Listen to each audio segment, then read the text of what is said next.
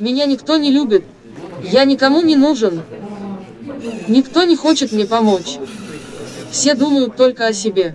Мы делаем вот такого робота, который предназначен для того, чтобы понимать текст на русском языке, выбирать эмоции, как бы он эмоционально прореагировал на эти высказывания на русском языке. Получается, что множество эмоций могут выполняться одновременно, и это должно делать его таким вот нетривиальным и привлекательным для человека. И с этими идиотами я работаю. Смелее можно. Так, Ну, можно довести теперь больше. считай, ничего не чувствую. Но это так и будет. Вы Так, ничего не почувствуете. чувствую. Чем это отличается от привычного электрофореза, который делают?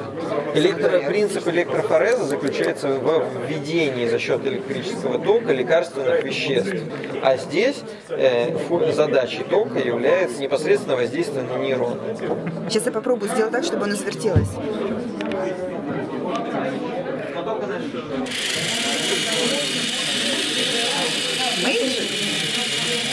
Мы собираем эмоции людей и выставляем точку там, где они были получены на карте.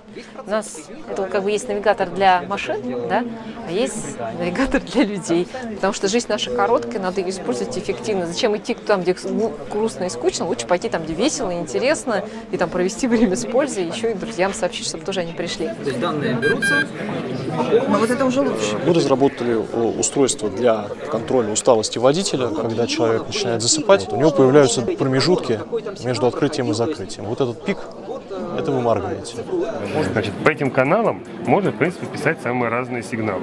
По треку взять какие датчики, куда поставить.